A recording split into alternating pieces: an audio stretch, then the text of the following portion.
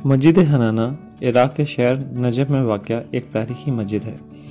इस मस्जिद का इस्लाम की इब्तदाई तारीख से गहरा ताल्लुक है और इसके कई वाक़ात अहम इस्लामी शख्सियत के साथ जुड़े हुए हैं। रवायत के मुताबिक, जब इमाम हुसैन आसमाम का मुक़दस सर करबला से कोफे ले जाया जा रहा था तो रास्ते में इस जगह पर रखा गया, जहाँ आज मस्जिद हनाना कायम है। रवायत है कि इमाम हुसैन आसमाम का सर यहाँ रखा गया तो मस्जिद की दीवारें अदब से झुक गईं। इसलिए उसे हनाना कहा जाता है, जिसका मतलब है झुकने वाली।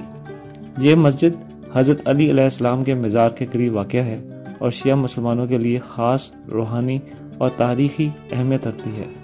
मुसलमानों का अकीदा है कि इस मकाम पर नमाज़ पढ़ने और इबादत करने का बहुत स्वाब है। मस्जिद हनाना न सिर्फ़ एक तारीख़ी मकाम है, बल्कि एक रूहानी मकाम भी है। जहाँ दुनिया भर से ज़ायरीन आकर ज़्यारत करते हैं और इस मुक़दस मकाम की बरकतें हासिल करते हैं।